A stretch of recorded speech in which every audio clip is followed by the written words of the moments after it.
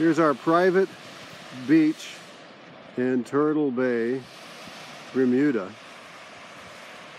We have other videos that we showed where we're frolicking in the water. But this is our private picnic table. And we just had a nice little picnic. We're definitely coming back